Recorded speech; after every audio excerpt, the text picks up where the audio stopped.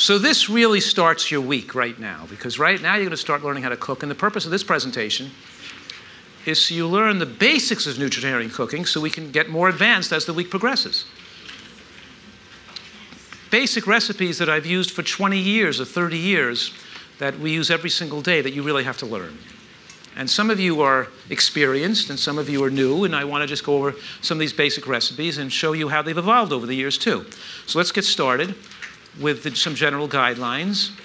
Of course, we want you know about how we're trying to devise the plan, the business plan for your life, right? The business, so you, what to include in your diet. You want to eat vegetable, out of raw vegetables, and we want one of the basic mantras I always tell people is you want to eat a salad every day a salad at least once a day as a main dish. That means a big salad is a main dish.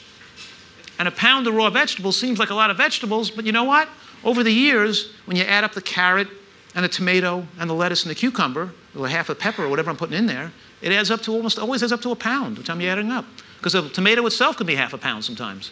It seems overwhelming to eat a pound of raw vegetables, but people love to have guidelines. How much should I eat?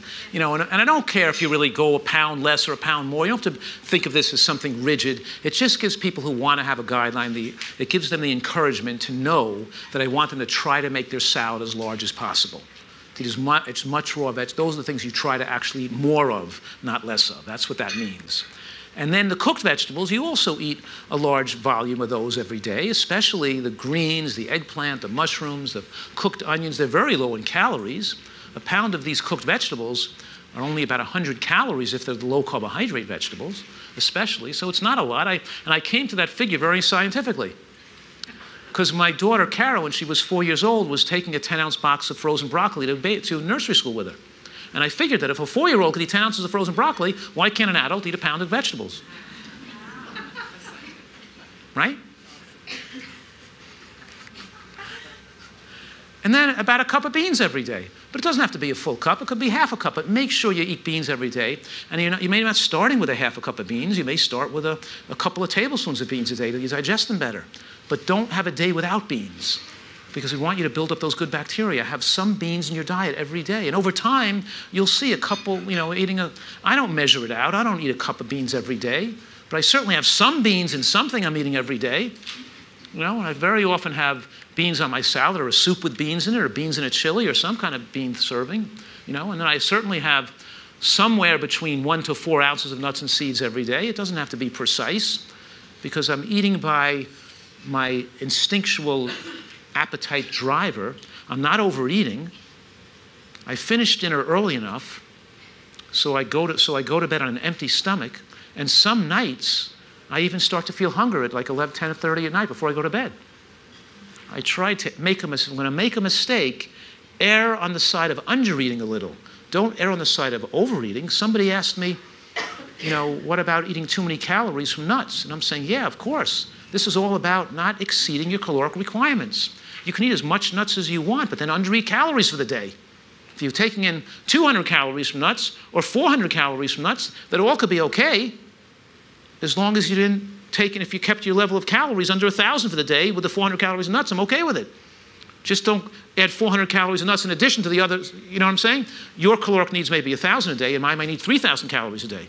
That doesn't, that, that's an individual thing. But I'm saying if you have more of one food, take out some other food. In other words, for you, whatever you need, err on the side of eating a little less than you think. Make sure you eat a little less, and you know how you're, if you're, you know you're overeating if you're not hungry for the next meal. If I'm really getting hungry for my meals, and I'm even a little hungry before bed at night, I know I slightly underate for the day. If you're never hungry, you're overeating. You're not eating healthfully if you're never hungry. You're supposed to get hungry. It's a signal your body requires calories.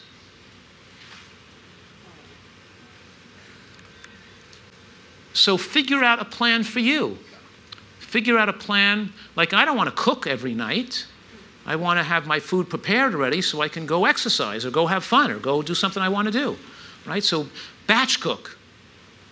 In other words, a good idea for a lot of people have succeeded making big pots of soup on the weekend, and you take that big pot of soup and you eat that Sunday night you made it, and you put it in the refrigerator, on the top shelf of the refrigerator, you clear out the shelf, and you put that whole hot pot of soup in the refrigerator. So the next morning, on Monday morning, you can pull the pot out cold, and you can aliquot it out into 10 different containers. So you have your lunches made for the whole week, because your lunch may be the vegetable bean soup with a salad and with a fresh dressing that you made on Sunday nights for the first three days of the week, and then on Wednesday night you made a new dressing, and you have a new dressing for the rest of the week. You know, but you have that soup for the whole week, and the next week you make a different type of soup. So this, when you're here at a getaway, the food is very different because you're having a different foods every meal. But in the real world at home, you're going to make one recipe you like and probably eat it for two or three days, and then make another recipe you like and eat that for two or three days. You're not going to be making all these different. You're not going to have a, a dinner with four vegetable options. You're going to have one cooked vegetable option with the dinner, right? It's going to be simplified. That's why here it's easy to overeat because there's so many different choices of things to try. And that's why here you're picking much smaller portions. I had a little bit of this pork foot and a little bit of that because my cooked vegetable, because you don't want to, because there's a lot more choices of cooked things you can eat here. So you want to leave time to exercise, you want to leave time to shop, and you probably need two excursions to the supermarket or two excursions to, to eat each week.